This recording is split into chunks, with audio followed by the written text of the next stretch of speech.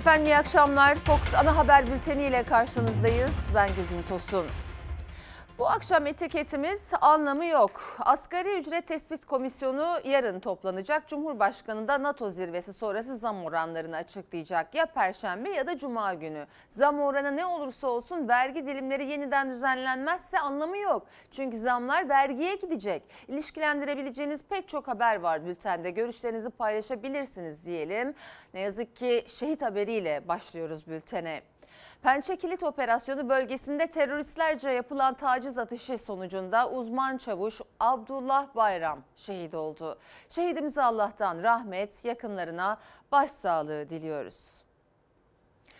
Sayın seyirciler NATO tarihinin en kritik zirvelerinden birini İspanya'da gerçekleştiriyor. Masada İsveç ve Finlandiya'nın üyeliği de var. Gözlerse Türkiye'nin üzerinde. Cumhurbaşkanı Erdoğan bugün İspanya'ya gitti. Yolculuk öncesi Ankara'nın tutumunun net olduğunu söyledi. Kuru laf değil netice istiyoruz dedi. Erdoğan Madrid'de ayağının tozuyla NATO Genel Sekreteri İsveç ve Finlandiya liderleriyle dörtlü zirvede buluştu.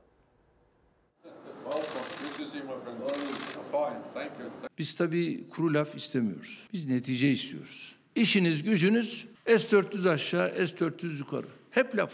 İkili bir görüşmeyi benim Mitsotakis'le yapmam mümkün değil. Bitti o iş. Erdoğan İspanya yolunda birbiri ardına verdi mesajlarını. Kritik NATO zirvesi öncesi İsveç, Finlandiya, Amerika ve Yunanistan'a çıkıştı. Zirvenin gala yemeğine Rum liderin katılmasına Ankara'nın itiraz etmediği iddiası ana muhalefetle hükümeti karşı karşıya getirdi. Beyefendi itiraz etmemiş. Onunla şimdi aynı masada yemek yiyecek ya. Demiyor ya. Biz onu tanımıyoruz ama o gelecekse Kuzey Kıbrıs Türk Cumhuriyeti de burada olmalı diyemiyor. Bakın diyemiyor bile. Bu mu devleti yönetiyor ya? Bu mu milletin çıkarlarını koruyor Allah aşkına? İspanya'nın başkenti Madrid, tarihi NATO zirvesine ev sahipliği yapmaya hazırlanıyor. Zirvede gelecek 10 yılın stratejisi belirlenecek. İsveç ve Finlandiya'nın üyeliği de masada. İttifak, iki ülkenin katılımıyla Rusya'ya karşı Doğu kanadını güçlendirme peşinde. Her türlü terörist saldırıya uğradık ve bunlardan en ufak bir tavır görmedik. Madrid'de gözlerse Türkiye'de. Çünkü İsveç ve Finlandiya'nın üyeliği Ankara'ya bağlı.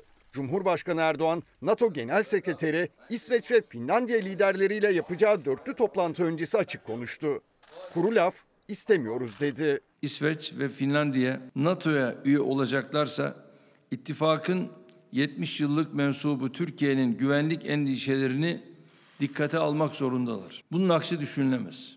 Ankara'dan bu sözlerle yola çıkan Erdoğan, öğle saatlerinde İspanya'ya indi. Zirvenin yapılacağı merkezde dünyanın merakla beklediği dörtlü görüşmeye katıldı. Senior officials from Turkey Başka hiçbir müttefik Türkiye kadar teröristlerce mağdur edilmedi. Buna terör örgütü PKK da dahil. PKK, YPG, FETÖ gibi terör örgütleri konusunda sergilenen riyakarlıkları muhataplarımızın yüzlerine belgeleriyle, bilgileriyle, görüntüleriyle ifade edeceğiz. Bu tablo değişmeden Türkiye'den farklı bir tavır beklenmesinin mümkün olmayacağını da açıkça söyleyeceğiz. Cumhurbaşkanı Erdoğan İspanya ziyareti öncesi Amerika Başkanı Biden'la telefonda görüştü. Erdoğan Biden'ın Madrid'de görüşme talebinde bulunduğunu söyledi. İki liderin yarın görüşeceği açıklandı. F-16 meselesi de şu anda hala masada. Orada da yine bir oyalama taktiği gidiyor. İşiniz gücünüz S-400 bunları da Sayın Biden'la yapacağımız görüşmede ona da yine dile getireceğiz. Erdoğan uluslararası anlaşmalara rağmen Ege adalarını silahlandıran Yunanistan Başbakanı Mitsotakis'e ise kapıları kapattı. İkili bir görüşmeyi benim Mitsotakis'le yapmam mümkün değil. Bitti o iş. Adalar silahlanırken askerler söyledi, siyasiler söyledi. Lozan Anlaşması'na aykırı bu diye gıkı bile çıkmadı ya. Şimdi efeleniyor. Efendim önemli konuların başında Güney Kıbrıs'la aynı masaya oturulacak olması var. Şimdi NATO zirvesinde Türkiye ve Kuzey Kıbrıs Türk Cumhuriyeti'ne tuzak kuruldu diyenler de var. O nedenle Rum lider Anastasiadis'le her türlü iletişim önem taşıyor diye düşünüyorum. Güney Kıbrıs'ı tanıma anlamına gelecek hareketlerden kaçınmak önemli. Uluslararası İlişkiler Profesörü Hasan Ünal'dan da görüş aldım. O da Güney Kıbrıs'ın korsan bir devlet olduğunun, dolayısıyla böyle toplantılarda faaliyet gösterebilecek Kıbrıs Cumhuriyeti diye bir devlet olmadığının kayıtlara geçeceği konuşmalar yapılmalı dedi. Yarın Amerika Birleşik Devletleri Başkanı ile de olası görüşme var. Büyük ihtimalle o görüşme olacak. Orada da Profesör Ünal Amerika'nın Rusya'dan aldığımız S-400 hava savunma sistemleri için Türkiye'ye uyguladığı Kaatsa ambargolarının devam etmesi halinde Rusya ile işbirliğimize karşı çıkamazsınız deme hakkımızı kullanmalıyız dedi. Bir de efendim Cumhurbaşkanı F-16'lardan bahsetti. Haberde dinlediniz. O Kasım e, o kısımda içler acısı. Çünkü programından atıldığımız F-35'lerin lafı bile geçmiyor artık çünkü.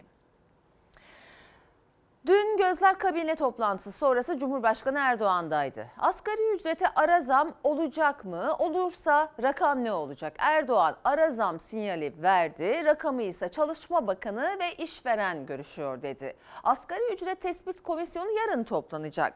Toplantı öncesi işçiyi masada temsil eden Türk İş hala 4253 lira olan asgari ücrete karşılık Haziran ayında 4 kişilik bir ailenin açlık sınırının 6391 liraya çıktığını açıkladı. Disk asgari ücretin 8500 lira yapılmasını istedi. Asgari ücret sizin için, disk için en az ne kadar olmalı? Hiç değilse açlık sınırını aşan en az 8500 lira. Ülkede çalışanların yarısından fazlası asgari ücret seviyesinde para kazanıyor. Enflasyona ezdirmemek için ne yapacaksın? Çalışma ve Sosyal Güvenlik Bakanlığımızdan işveren tarafıyla görüşülerek asgari ücretin yeniden değerlendirilmesini istedim. Asgari ücret tespit komisyonu uzun yıllar aradan sonra ikinci kez tekrar yılın ortasında toplanacak. Ocakta verilen %50 zam %73,5 enflasyonun karşısında çoktan eridi. Temmuz'da ara zam gündemde ama ne kadar olacak? Ankara kulislerinde farklı formüller, farklı rakamlar konuşuluyor. Nereden bakarsanız bakın asgari ücretin şu an iki kat olması lazım Temmuz'dan itibaren. Yani 8500 lira bir rakamdan başlaması lazım. İşçi adına pazarlık masasına oturan Türk İş rakam vermedi ama açlık ve yoksulluk sınırını asgari ücret tespit komisyonunun toplanmasına bir gün kala açıklaması mesaj gibiydi. Haziran ayında 4 kişilik bir ailenin açlık sınırı 6391 liraya yükseldi. Türk İş yıllık gıda enflasyonunu ise %117 olarak açıkladı. Bizim disk araştırmasına göre de %120 civarında gıda enflasyonu. Gıdaya erişim bu ülkede hiç bu kadar zor olmamıştı. Eğer TÜİK'in 6 aylık gıda enflasyonuna göre zam alırsa işçi maaşı en az %50 artmalı. 6379 lira olmalı. Bu rakam sadece bir aylık gıda harcaması. Hayat pahalılığı, yokluk öyle bir noktada ki bu ülkenin vatandaşları artık faturasını, kirasını ödemek için evindeki eşyaları satar oldu. Şu anda Türkiye çok ciddi bir barınma krizi yaşıyor. Kiralar olağanüstü bir şekilde arttı. 21 bin lira şu anda yoksulluk sınırı Türkiye'de. Türk İş'e göre ise 4 kişilik ailenin yoksulluk sınırı 20.818 lira. Sadece gıda, barınma, sağlık gibi temel ihtiyaçlar için gerekli olan rakam. En azından iki asgari ücretlinin yoksulluk sınırı kadar bir ücret alması lazım. Asgari ücretin 10 bin lira civarında olması gerektiğini e, bize söylüyor. Sendikalar yoksulluk sınırına yakın zam yapılmayacağını düşündüğünden o rakamı telaffuz bile etmiyor. En azından açlık sınırını geçen bir zam istiyor ama memur ve emeklisine verilen fark gibi manşet enflasyona bakılırsa tahminlere göre %40 zam alacak işçide. Net 5954 lira açlık sınırının 437 lira altında. belirlenen 6 aylık enflasyon üzerinde bir zammı bütün çalışanların ücretlerine yansıyacak bir modeli umut ediyoruz, istiyoruz ve bekliyoruz. Kulislerde konuşulan bir başka formülde işçi ve işverenden kesilen toplam 1626 lira sigorta priminin bir süre işsizlik sigorta fonundan karşılanması. Bu formül hayata geçerse işverenin cebinden para çıkmadan asgari ücret net 5879 lira, açlık sınırının 500 lira altında olacak. Özellikle belli sayıya kadar personel çalıştıran işverenleri gözetecek yapılan artışın istihdamda herhangi bir olumsuz etkiye yol açmasına da meydan verilmeyecektir. Cumhurbaşkanı Erdoğan'ın istihdam vurgusu dikkat çekerken gözler yarın toplanacak asgari ücret tespit komisyonunda ama rakamı yine Erdoğan açıklayacak. NATO görüşmelerinden döner dönmez bunu milletimle paylaşma fırsatını bulacağız. Efendim Vedat Bey demiş ki anlamı yok. Maaşlara yapılacak olan zam gerçek enflasyon oranına göre yapılmadıktan sonra anlamı yok. İktidar bunu yaparken açlık ve yoksulluk sınırını dikkate almıyor. Haberle devam edelim. Bir yandan ara zam konuşulurken diğer yandan muhalefetin de çalışanların da unutulmamasını istediği önemli bir konu daha var. Vergi dilimleri. Enflasyonun etkisiyle maaşlar artıyor ama Buna uygun vergi düzenlemesi yapılmıyor. Bu da çalışanların zam alsalar da zammın tamamını hissetmemelerine bir kısmının vergiye gitmesine neden oluyor. Aldığımız ücret zaten ortada. Şurada alışveriş yaparken gene KDV, gene devlete vergi ödüyoruz. Kaşıkla verdi, kepçeyle kürekle geri aldı zaten. Zaten maaşları zamlandığı akşamı faiz zamlar aldı başını gitti. 2250 iken güzel güzel geçinebiliyordum. İstediğim her şey yapabiliyordum. E şimdi 4900 4250 lira maaş yaptın sen bana zam. Benim faturam olmuş 300 lira. 400 lira. Ne anladım? Zamdan hiçbir beklentim yok işin gerçeği. Bir asgari ücretlinin büyük şehirlerde nasıl geçinebildiğinin bilimle izahı mümkün değil. 35-40 civarı olursa onda da 5500 bandı e, görünüyor. Ama aslında olması gereken e, açlık sınırının altında olmayan bir asgari ücrettir. Eğer bir kırmızı çizgi çekilecekse bu da açlık sınırı olmalıdır. Asgari ücretlinin de memurun özel sektör çalışanlarının da gözü ara zamda. Asgari ücrete gelecek zam tüm zamlarda belirleyici olacak ama zamla gelenin vergiyle gitmemesi için vergi dilimlerinin yeniden düzenlenmesi şart. Gelir vergisi dilimleri de enflasyonla beraber güncelliğini yitirdi. Verilen zamdan fazlası vergiye gidecek. Çok acil bir güncelleme yapılması gerekiyor. Maaşlardan kesilen gelir vergisi aydan aya artıyor. Yılın başında alınan maaş zor yeterken yılın sonuna doğru daha da azalıyor. Çalışanların maaşına yapılan zammın büyük bir çoğunluğuysa vergiye kesiliyor. Vergiyi biraz daha düşük tutabilir yani. Çünkü insanlar çalıştıklarını vergi ödüyor. Sürekli vergi ödüyor. Muhalefet de çalışanlar da gözünü vergi dilimlerine çevirdi. Zaten dilimler yıllardır çalışanların lehine düzenlenmiyor. O yüzden yıldan yıla daha fazla vergi kesiliyor maaşlardan. Şimdi ara zamla maaşlar artsa da vergi dilimleri düzenlenmedikçe o zammı maaşlarında hissedemeyecek çalışanlar. Net maaşı 7 bin lira olan bir vatandaşın yılın ikinci ayında yaklaşık %40 zam aldığını düşünürsek yani yaklaşık 9500 lira net ücret almaya başladığını düşünürsek toplamda yıl sonunda 16.712 lira gelir ve damga vergisi kesilmiş olacaktır. Eğer 7 bin lira olarak devam etseydi yaklaşık 11 bin lira vergi kesilmiş olacaktı. Yani zamdan kaynaklı olarak yılın sonuna doğru 5700 liraya yakın daha fazla bir vergi kesilmiş olacak. Yani maaşa 2500 liralık zam gelecek ama yıl sonuna kadar ödeyeceği vergi de 5700 lira artacak çalışanın. 2 aylık zammını devlete vergi olarak ödemiş olacak. Bu da aylık 950 liraya denk geliyor. Yani vergi dilimi düzenlenmezse çalışan 2500 lira değil 1550 lira zam almış olacak. 1000 lira kadar ben devlete katkıda bulunuyorum. Keşke devletimiz de bana 1000 lira katkıda bulunsun.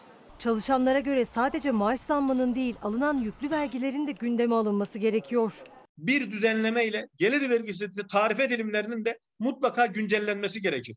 Aksi halde vatandaş alacağı zammın ya da artışın bir kısmını zaten vergi olarak tekrar ödeyecektir. Talebimiz tabii e, bütün mesleklerde ve meslek gruplarına ilişkin olarak öncelikli olarak vergi dilimlerinin kazanca göre düzenlenmesinde belli sınırlar olmalı. Bir düzenleme yapılması e, bütün herkes için, bütün meslek grupları için iyi olur diye düşünüyorum. Düşük maaş, zamsız bayram ikramiyesi derken emekliler geçinebilmenin yolunu arıyor. Yıllardır bekledikleri intibak düzenlemesiyle düzenlemesi ise gündemde bile değil. Emeklilerin maaşları arasındaki uçurum yıldan yıla derinleşiyor. Sadece karnını doyurmakla meşgul insanlar. Karnını doyurduğu anda bitti. Halk ekmeğine devam. Emekli misiniz? Emekli.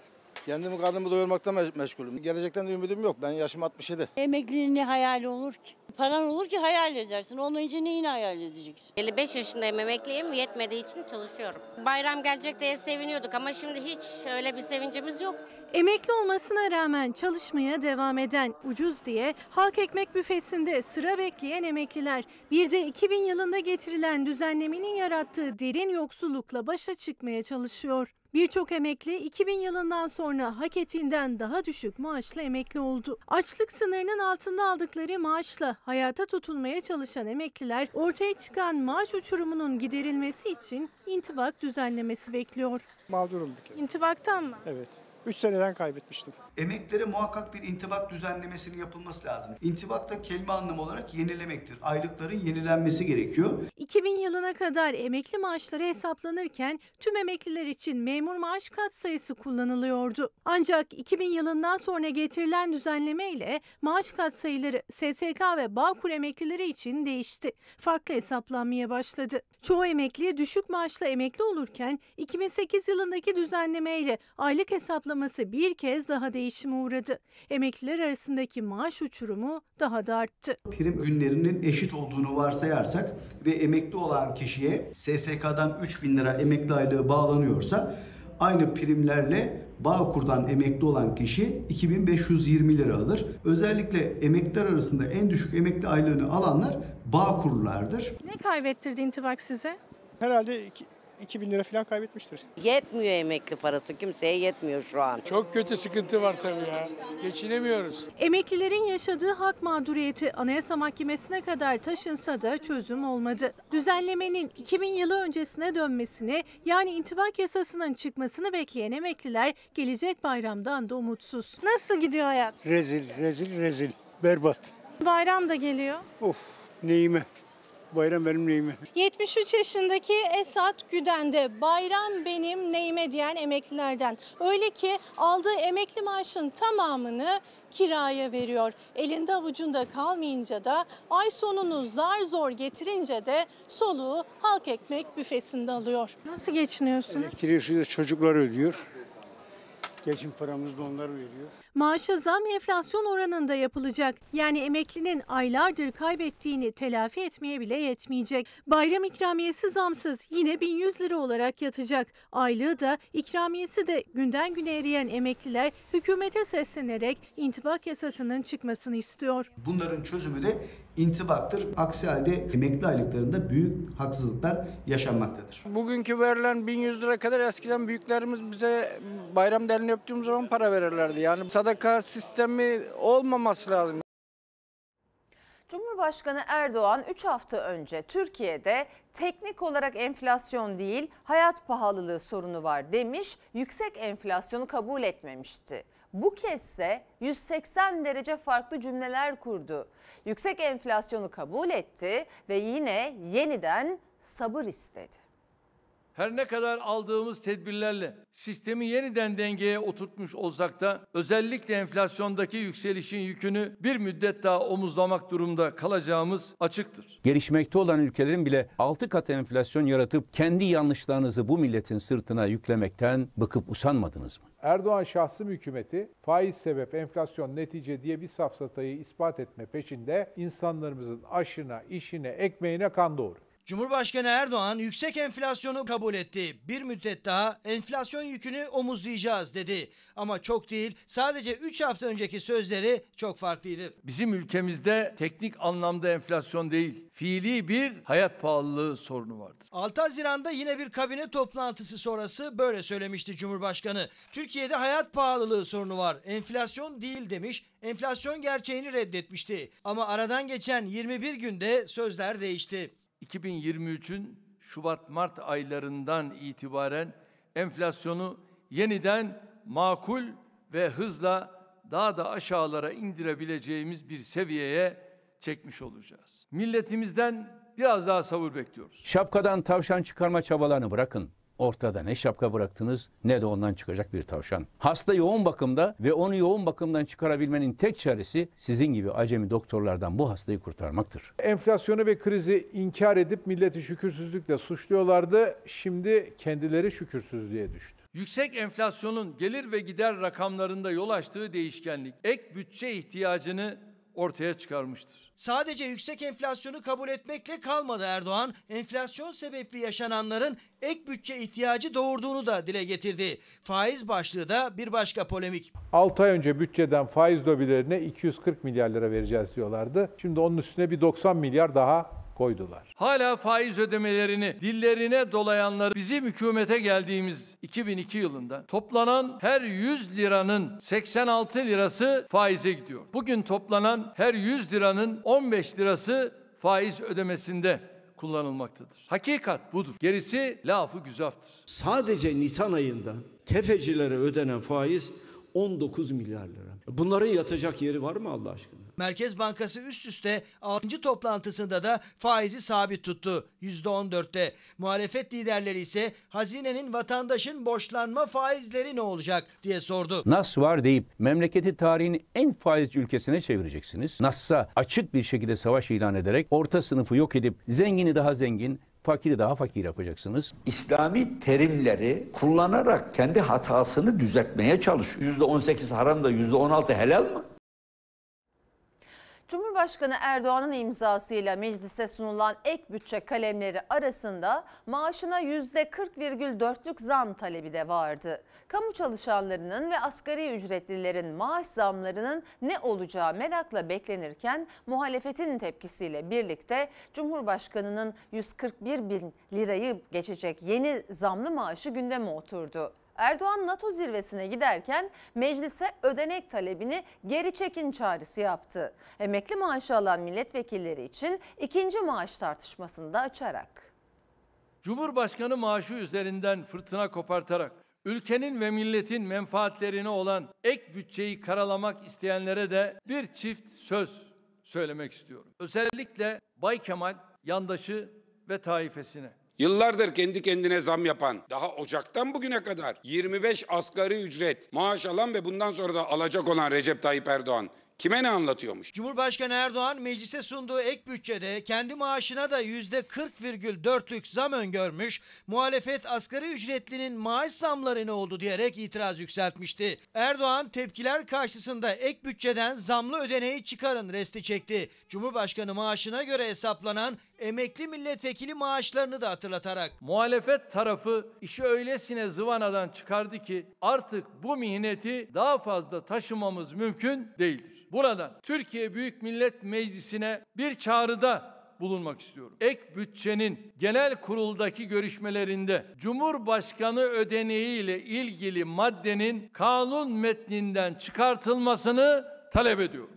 Gerçekten çok büyük fedakarlık yaptı. Bak bak bak. Uçan saray, yüzen saray, kaçak saray, yediğin önünde yemediğin arkanda. Bütün sülalen servetine servet katmış. Ayda 100 bin liranın üstünde para alıyorsun. Yol parası vermezsin, yemek parası vermezsin, elektrik parası vermezsin. Bak bak bak bak. Maaş zammından vazgeçmiş. %40'lık zammı kendisine talep etti. Zam istemediği konusunda bir beyanı yoktu. O zamları tıkır tıkır alacaktı. O zamları tıkır tıkır harcayacaktı. Meclise sunulan ek bütçe teklifine göre yılın ilk yarısında 100.750 lira olan aylık Cumhurbaşkanı ödeneği ikinci 6 ayda 141.416 liraya yükseliyor. Cumhurbaşkanı ödeneğine bağlı olarak hesaplanan emekli Cumhurbaşkanı aylığı ise 40.300 liradan 58.844 liraya, emekli milletvekillerinin maaşları da 18.135 liradan 26.479 liraya çıkıyor. Sayın Kılıçdaroğlu'nun aldığı iki maaştan biri olan emekli milletvekili maaşı Cumhurbaşkanı ödeneğine endekslidir. Bir de dönmüş emekli milletvekili maaşı üzerinden ikinci maaş tartışması açmaya çalışıyor. Recep Tayyip Erdoğan Cumhurbaşkanı maaşı dışında emekli Cumhurbaşkanı, emekli Başbakan ya da emekli milletvekili maaşı alıyor mu almıyor mu? Bunu açıklasınlar. Erdoğan yılın ikinci yarısı için %40,4 zamlı aylık ödenek talebini ek bütçe teklifinden çıkarın çağrısı yaptı meclise. Emekli vekillerin maaşları da ayrı formülle hesaplansın dedi. Böylelikle de kendisine zam yaparken emekli milletvekillerini bahane göstermesinden de kurtulmuş oluruz hep beraber. E, Fethi Bey demiş ki enflasyon düşmedikçe, maaşlı çalışanlar için vergi dilimleri düzenlenmedikçe, emeklilikte yaşa takılanlar için yasa çıkmadıkça maaşlara yapılacak zamların anlamı yok. Bir izleyicimiz de şöyle diyor. Önemli olan zam yapmak değil, alım gücünü artırmak. Asgari ücrete zam yaparsanız esnaf yanındaki 5 çalışanın 3'ünü işten çıkarır, işsizlik artar. Kalan 2 kişi de 5 kişilik iş yapmak zorunda kalır. Kimse mutlu olmaz. Efendim geçen hafta Marmaris'teki yangın günlerce sürdü. 5000 hektara yakın alan yandı. Bir yıl sonra bir kez daha yeterli müdahale tartışması açıldı.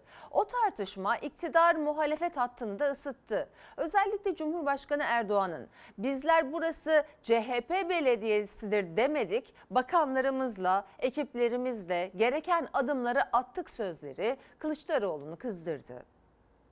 Vallahi de billahi de. Devletin ne olduğunu ve devletin nasıl yönetildiğini de bilmiyor. Sen ben ayrımı yapıyor. Bizler burası CHP belediyesidir demedik. Bakanlarımızla, tüm ekiplerimizle buraya indik ve atılması gereken adımları da yerinde attık. Ya orman yanıyor kardeşim. O orman hem benim ormanım hem senin ormanın. Bunu söylemesi bile kafasındaki ayrımcılığın ne kadar derin olduğunu gösteriyor. Marmaris'te 5000 hektar orman yandı, 5 günde söndürülebildi. Ateş Ankara'ya da bu sözlerle sıçradı. Fitili ise muhalefetin eleştirileri üzerine Erdoğan'ın CHP'nin belediyeleri ne yaptı sorusu ateşledi. Dikkat et. Muğla'da Büyükşehir Belediyesi sen de acaba ne yaptınız? Ne gibi bir çalışma ortaya koydunuz? Bir sefer şunu söyleyeyim. Ben senin gibi değilim. Muğla Büyükşehir Belediyesi bende değil. Muğla Büyükşehir Belediyesi Muğla'dadır ve Muğla halkınındır. Senin anlayışınla biz devleti yönetmeyiz. Büyükşehir belediyelerinin itfaiyesi yok mu? Onlar ne iş yaptılar? Marmaris Belediyesi 328 personel görevlendi. Bunu vali biliyor. İsteyen vali. 156 araçla yangına müdahale ettiler. Bunu da vali biliyor. Yiyecek içecek sağlandı. Bunu da Büyükşehir Belediyesi yaptı. Sadece Muğla değil Ankara, İzmir, Aydın, Eskişehir, Antalya ve Burdur belediyeleri de yardım gönderdiler oraya. Salı gecesi Marmaris'te çıkan yangın ertesi günde kontrol altına alınamayınca CHP havadan müdahaleyi gece görüşü olmayan uçak ve helikopterler nerede diye sordu. İktidarın hedefi oldu. O tartışma iktidar ne yaptı, CHP'li belediyeler ne yaptı kıyaslamasına kadar uzandı. Kılıçdaroğlu ayrımcılık diye isyan etti. Gökyüzünde helikopter arayışı gibi, uçak arayışı gibi bu tür zavallılarla bu ülkede siyaset yapılmaz. Ormanları korumak için açtığın ihale 4 Temmuz'u bekleyeceksin. Beşli çeteye hemen ihaleyi 10 dakikada yaparsın. Gece görüşlü helikopter için bekliyorsun 4 Temmuz'u. Niye bekliyorsun kardeşim? Bay Kemal. Yavruların da var, ortakların da var. Ama bizler burası CHP belediyesidir demedik. Bakanlarımızla, tüm ekiplerimizle buraya indik ve atılması gereken adımları da yerinde attık. Ne yapıyor bakanlar Allah aşkına? Fırsat buldular geldiler eğlenceye katıldılar değil mi? Suudi Prens mi gelmişti buraya? Onunla beraber sofraya oturdular orada ağaçlar yanarken. Senin görevin o. Senin görevin katilin sofrasına oturmak değil. Yangın düellosu sadece Erdoğan Kılıçdaroğlu arasında yaşanmadı. Bahçeli de Kılıçdaroğlu'na yüklendi. Kılıçdaroğlu orman yangını olacağını herkes biliyordu diyerek itirafta bulunmuş. Sayın Kılıçdaroğlu orman yangınının çıkacağını nereden biliyorsun? Kim sana kripto mesajlar gönderiyor? Kimlerle düşüp kalkıyorsun? Marmaris'teki yangın, orman yangınlarının olacağını ya bütün dünya biliyor. Anladığım kadarıyla tek bir makale dahi okumamış. Akdeniz Havzası'nda yangının daha fazla çıkacağına dair yazılar yazıldı. Allah akıl fikir versin. Eğer yangın itibarını alıp da ilgili ve yetkili kurumlara iletmediysen suçlusun. Ya bu yangının çıkacağını bir yıl önceden sadece ben değil bütün dünya söyledi. Akdeniz Havzası'nda yangın çıkacaktır diye. Herkes hazırlıklı olsun diye. Siyasetin bir yangın tartışması daha böyle yaşanırken akıllardaki soru gece görüş imkanlı müdahale araçlarının tamamlanıp artık gereken önlemlerin alınıp alınmayacağında. Beni çok üzen konulardan biri bu haberle ilgili. Cumhurbaşkanının Muğla için biz burası CHP'li belediye demedik gittik demesi. Yani şaşırıyor insan tabii. CHP veya başka partinin belediyeleri bir başka ülkeye mi ait? Düşman toprağı mı oralar? Oradaki halk da vergisini devlete ödemiyor mu? Kaldı ki ormanları yangına karşı korumak birinci derecede Tarım ve Orman Bakanlığı'nın sorumluluğunda. Devam edelim şimdi. Zafer Partisi Genel Başkanı Ümit Özdağ Hatay sınırına sembolik mayın döşemek için yola çıktı ancak Hatay'a alınmadı dün. O anlardan sonra İçişleri Bakanı ve Hatay valisiyle arasında gerilim tavan yaptı. Muhalefetin de desteği arkasında saatler süren bekleyişin ardından valilik yasak kararını kaldırdı. Özdağ da Hatay'a gece yarısına doğru girebildi. Hatay Valiliği anayasayı çiğneyen yasak kararını kaldırmak durumunda kaldı. 12 saatlik bekleyişin ardından Hatay'a giriş engelinin kaldırıldığını Hatay Türktür, Türk kalacaktır pankartı önünden duyurdu Ümit Özdağ. Ardından partililerle birlikte Hatay'a girdi. Hedefinde İçişleri Bakanı Süleyman Soylu ve Hatay Valisi Rahmi Doğan vardı. Sınırına mayın düşecekmiş. Ya sınırın kilometrelerce uzağına senin girebilmene biz müsaade eder miyiz? İçişleri Bakanı'ndan Hatay Valisi'ne kadar insanlar ayağa kalktılar. Sınırda birlikler vaziyet almışlar. Arkadaşlar hayırdır siz Hatay'ı Adana tarafından savunmayacaksınız. Savunacaksanız Suriye tarafından savunun. Pazar günü Adana'dan yaptığı çıkışta sınırdaki mayınların temizlenmesinin sınır güvenliğini zayıflattığına dikkat çekmek için Hatay sınırına mayın döşeyeceğim demiş. Pazartesi günü de Hatay'a gitmişti Ümit Özdağ. Ama giriş yoluna valilik talimatıyla set örüldü. Şimdi size mayını gösteriyorum. Bu. Ya Süleyman Soylu sen bizim gerçekten mayın taşıdığımızı mı düşündün? İşte mayın bu. Bu bir sembolik adım. Valimiz bir hafta süreyle e, Hatay ili merkezi geneli alınmış bir yasaklama kararı var. Geçirmemiz mümkün değil. Bu yasak kaldırılana kadar heyet olarak burada kalmaya devam edin. Karara tepki için gerekirse Hatay'ın Türkiye'ye katılışının yıl dönümü olan 9 Temmuz'a kadar buradayım resti çekti. Beklemeye geçti Özdağ. Gece saatlerinde beklediği haber geldi. Valilik yasağı kaldırdı. Özdağ konvoyla Hatay'daydı. İran üzerinden Afganistan, Pakistan, Hindistan'dan gelmesi beklenen 10 milyonlarca kaçağın Türkiye'ye yöneleceğini araştırmalar gösteriyor. Değil 2 metrelik duvar, Çin Seddi inşa etseniz yine de bu göçü durdurmak mümkün değil. Düzensiz göçe özellikle dikkat çekti. Sınır güvenliği vurgusu yaptı Özdağ. Sınırımıza tekrar anti personel mayın döşenmesi yeni göçlerin olmaması için atılacak en önemli kararlardan bir tanesi. Herkes duysun ve bilsin. Kimse bu sınırlara yaklaşmasın. İstediğimiz bu. Zafer Partisi lideri Özdağ'ın gündüzden geceye uzanan hareketli Hatay çıkarması seçimlerden sonra Suriyeliler vatanlarına dönecek Hatay'a sadece turist olarak gelebilecekler vaadiyle son buldu. Özdağ Ankara'ya döndü.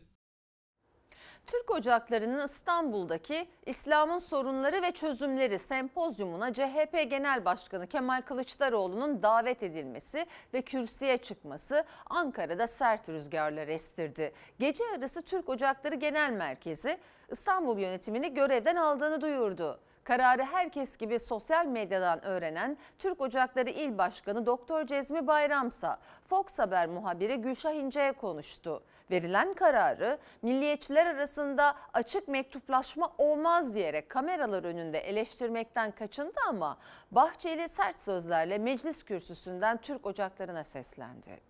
Kendilerini huzurlarınıza davet ediyoruz. Cumhuriyet Halk Partisi Genel Başkanı Sayın Kemal Kılıçdaroğlu. Türk Ocakları'nın kuruluşunun 110. yılında ne işi vardır? Akıllarını yitirmiş bunlar. Tahammül edemiyorlar. Türk Ocağı yetkililerine de ben buradan sesleniyorum. Ya bu ne garabettir arkadaş ya. Tek ilk defa bir kişiyi davet ediyor değiliz.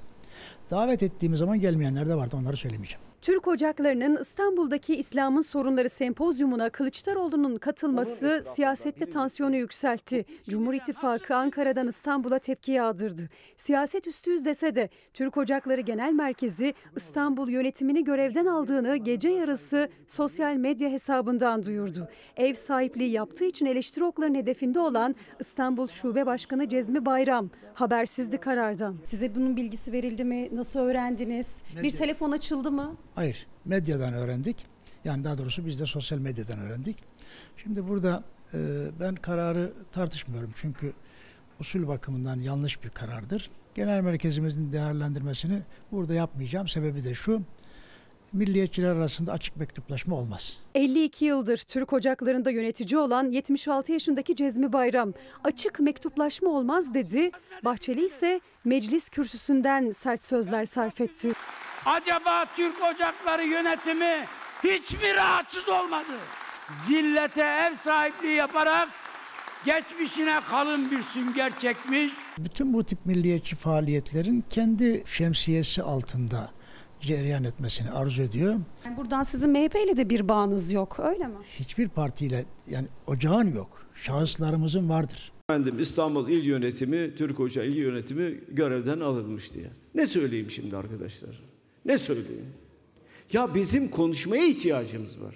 Oysa daha önce de 2016 yılında yine bir CHP'li ilçe belediyesinin desteğiyle Kılıçdaroğlu'nun katılımıyla Türk Ocakları toplantı yapmıştı. Ama bu yıl sert rüzgarlar esti. Üstelik İslam dünyası ile ilgili bir sempozyumda Kars Mark'tan alıntı yaparak salonda hazır bulunanlara hitap etmesine nasıl katlandınız?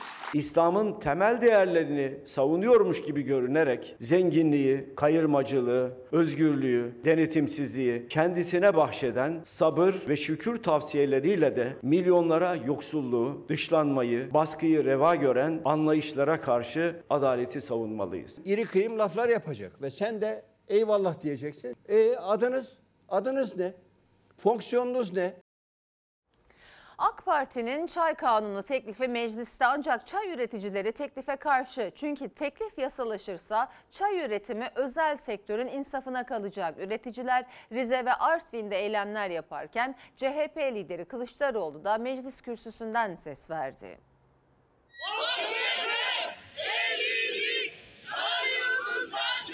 AKP'nin çay kanunu yaş çay üreticisi için idam fermanıdır. Eu sir! Yeni çay kanunu teklif olarak sunuldu. Rize'de, Artvin'de yani çay üretiminin kalbinde üreticiler kanun teklifine karşı çıktı. Çünkü 15 maddeli kanun teklifinde üreticiyi koruyan tek madde olmadığı gibi Çaykur etkinliğini yitirecek, çayda fiyat belirleme, çay alımı gibi önemli adımlar özel sektörün insafına bırakılacak. Üreticiler yaptıkları eylemlerle yeni düzenlemeye hayır dedi. CHP lideri Kemal Kılıçdaroğlu ise şekerdeki özelleştirmenin ithalatla biten sonuçlarını hatırlattı. Şekerde hangi oyunları oynamak istiyorlarsa çayda da aynı oyunu oyna, oynamak istiyorlar. Bugün önümüze çay kanunu diye getirilen metin AKP'nin kendi karanlık dehlizlerinde gizlice hazırlanmış, pişirilmiş, kamuoyuyla paylaşılmamış. Dünyada Türkiye, Türkiye'de Karadeniz bölgesi çay üretiminin en önemli merkezi. Rize Ticaret Borsası'nın verilerine göre Doğu Karadeniz bölgesinde 787 bin dekar alanda yaklaşık 201 bin üretici çay üretiminde. Yani bölge çay üretimiyle kalkınıyor. AK Parti Rize Milletvekili Hayati Yazıcı'nın ilk imzacısı olduğu çay kanunu teklifi meclise sunuldu. Yasalaşırsa çayda devletin alım garantisi olmayacak. Temsilcilerine özel sektörün oluşturduğu Ulusal Çay Konseyi yaş çay fiyatlarını belirleyecek. Yükü sırtlarından atacaklar, düşük fiyat belirleyecekler. Diyecekler ki vallahi biz belirlemedik ya. Ulusal Çay Konseyi bu fiyatı belirledi. Bu yasa bölgemizde aile ziraatı olarak yapılan çay tarımını özel şirketlere teslim etmektedir. Sözleşmeli tarım demek bugün sahip olduğumuz topraklarda yarın kiracı, yarın işçi ve gündelikçi olarak çalışacağız demektir. Kanun teklifine göre üretici ne kadar alanda ne kadar üretim yapacak önceden belirlenecek. Fazla üretim yaparsa satamayacak. Hava şartları nedeniyle az ürün elde ederse taahhüt ettiği kadar ürün veremediği için tazminat ödemek durumunda kalacak. 5 dönümün altında tek bir kişiyle sözleşme yapacaksınız. Ve istediğiniz çayı Çaykur'a tamamen taahhüt ettiğiniz şekilde vermek zorunda kalacaksınız. Üreticinin bugüne kadar güvencesi olan Çaykur'un yetkileri de kısıtlanacak. Özel sektörün çay üretiminde hakimiyetinin artması üreticinin en büyük korkusuydu. Teklif yasalaşırsa o endişe gerçek olacak. Zaten yüksek olan çay fiyatları daha da artacak. O yüzden Rize'de, Artvin'de protestolarla teklifin geri çekilmesini istedi çay üreticileri. Tarım ürünlerinin alıcısı olan devlet bu alandan elini çektiğinde ve özelleştirdiğinde bugün tarım ürünlerinde ve hayvancılık ürünlerinde yaşadığımız darboğazı ve dışarıya bağımlılığı yaşayacağız.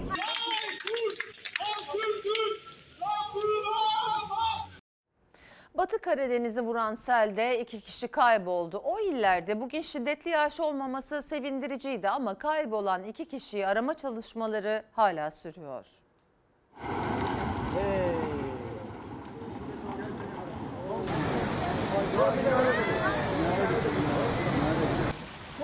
Biz buradayken hiç korkmana gerek yok. Gel bakalım.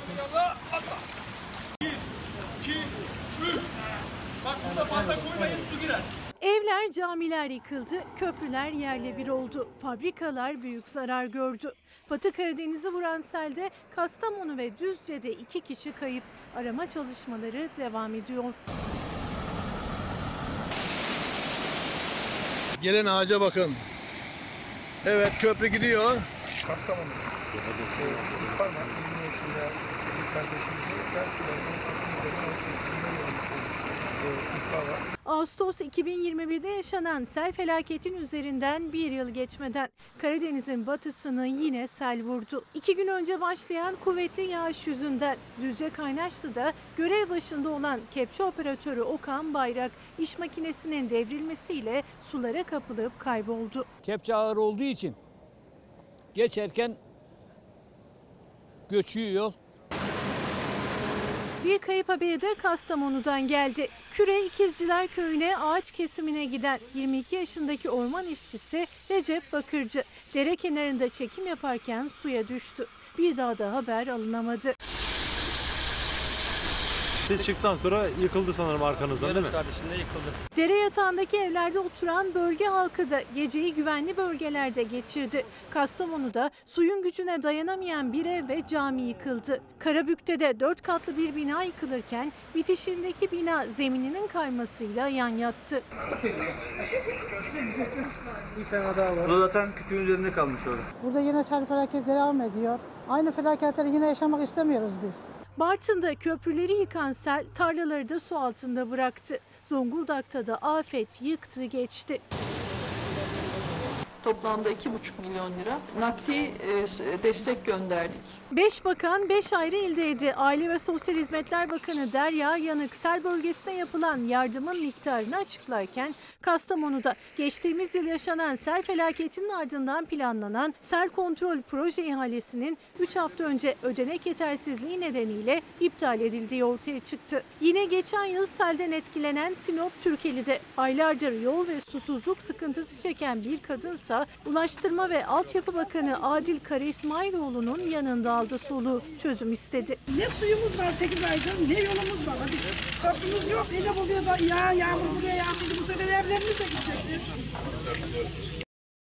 Geçen yaz felaketler üst üste gelmişti. Tüm yazımız zehir olmuştu. Yine yangınlar, yine sel felaketleriyle. Daha geçen yaz ders almak hak getire hep yanlışta ısrar ısrar. Hala aynı mimariyle köprüler yapıldığını gördük Karadeniz'de. Bu köprüler bizim paramızla inşa ediliyor. Her selde de yıkılıyorlar. Bunları yapan şirketler açıklansa keşke. Can kaybı olmaması da köylerin boşaltılmış olmasından, halkın geceleri uykusuz teyakkuzda geçirmesinden neyse ki. Sayın seyirciler, dün Bodrum'da, Ortakent'te, Bitez'de, Gümbet'te tatil seçeneklerini, fiyatları ekranı taşımıştık. Nazlı Yere Basmaz ve kameraman Çağlar Güner Yarımada'nın diğer tarafına geçti bu kez. Yalıkavak'ta, Türkbükü'nde daha yüksek gelir grubuna göre tatil seçenekleri var. Lüks tatil mekanlarında artık Türk lirası da değil, euro cinsinden fiyatlar konuşuyor. Tilkicik Koyu Bodrum'un gerçekten çok olağanüstü denizi olan yerlerinden bir bölge. Burası Göl Türkbükü. İşletmemiz otel, beach ve restoran. Ya Çakal gelecek, işte Reçkol gelecek, Sefo gelecek, işte Mörda gelecek. Bu şekilde sanatçılarımız var. Ünlü yıldızlardan canlı müzik, cennet gibi doğa, çarşaf gibi deniz, leziz yemekler. Hepsi tatilcileri çağırıyor adeta ama hepsinin bir de bedeli var. Yani burası ucuz bir bölge diyemeyeceğim. Ev fiyatlarından tutun kira fiyatlarına, denize girdiğiniz alandaki plaj fiyatlarına burası ucuz bir yer değil. Diğer oteller euro bazında çalışıyorlar. İşte 600 euro, 700 euro gibi. Bizlerde şu an 3 lira, 4 lira gibi 4000 TL gibi e, oda fiyatlarımız var. 9 odamız var burada e, hizmet veren. Yüksek sezonda fiyat maksimum bizim burada 350 euro kadar geliyor yani. Euro ile mi? Evet. Kurban Bayramı tatili 9 güne çıkarıldı. Birçokları için bu uzun bir tatil fırsatı demek. Tabii gücü yeterse. İmkanı olan Bodrum'un lüks beachlerinde müzik eşliğinde içeceğini yudumlayıp kendini serin sulara bırakabiliyor. Yani Bodrum biraz pahalı evet ama İstanbul'la karşılaştırdığımda hemen hemen aynı harcıyorum ya. Yemekler falan İstanbul'la hemen hemen aynı. Akaretler, Nişantaşı çok yakın. Giriş ücreti ne kadar? Şu an 1000 lira, 1000 lira komple harcama. Tabii geçen sene daha uygundu ama bu sene işte enflasyon olsun, işte fiyat artışları olsun mecbur biz de arttırmak zorunda kaldık. Beach'e geliyorsanız Türkbükü'nde 2000-3000 lirayı gözden çıkarmanız gerekiyor. Günlük. Günlük. Nerede kalıyorsunuz otel? Biz, biz burada otelde kalıyoruz. Türk Ne kadar veriyorsunuz? Biz geceliği 5000 lira veriyoruz şu an. Olduğumuz bölge Türkbükü gayet diğer yerlere nazaran birazcık daha pahalı bir yer. Ondan dolayı gelen insan kalitesi de ona göre değişiyor açıkçası. O yüzden mi tercih ediyorsunuz? Ben birazcık da o yüzden tercih ediyorum. Birçok yatırımcı ciddi bir şekilde yatırım yapıyor. Bodrum zaten marka bir yerdi. Fakat bunun üzerine çok ilave yatırımlar da yapılıyor. Dünya markaları gelmeye başladı. E, dolayısıyla elit personel çalıştırıyorsunuz. 500 euro olan yer var. Ha- Yani giriş harcama limiti. 2000-2500 lira harcama limiti olan yerler var. Bir de bu lüks tatillere uzaktan bakanlar var. Onlarsa hayalini bile kuramamaktan yorgun düşüyorlar. Girmek istedik. E, girdik de ama hiç makul değil yani hani. Bin lirayı verdiniz. Evet ama orayı yaşamak istediğim için verdik. Normal koşullar altında normal bir insanın, normal bütçeyle çalışan bir insanın yapabileceği bir şey değil. Kara Murat, Malkaçoğlu, Battal Gazi her rolüyle, her filmiyle hafızalara kazınan Yeşilçam'ın mavi gözlü jönü Çınar'ı Cüneyt Arkın 85 yaşında hayata veda etti.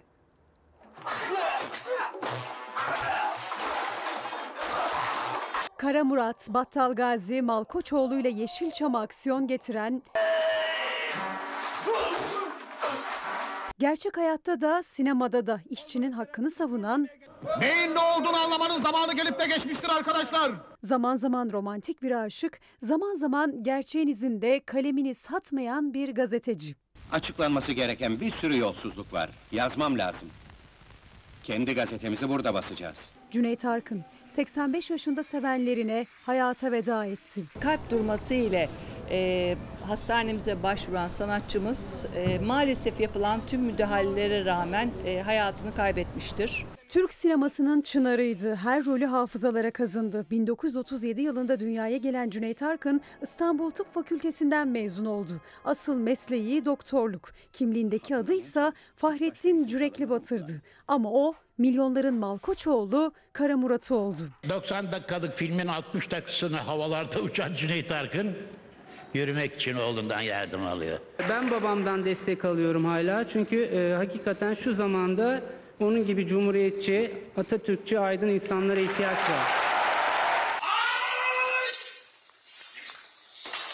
85 yıllık hayatında ülke meselelerine duyarlı, filmlerinde olduğu gibi gerçek hayatında da hak ve adaletin yanında duran Cüneyt Arkın 6 ay önce başrolleri paylaştığı yakın dostu Fatma Girik'in vefatıyla derin üzüntü yaşamış ve dostunun ardından bekle beni demişti. Ah ah ah Fatma ah.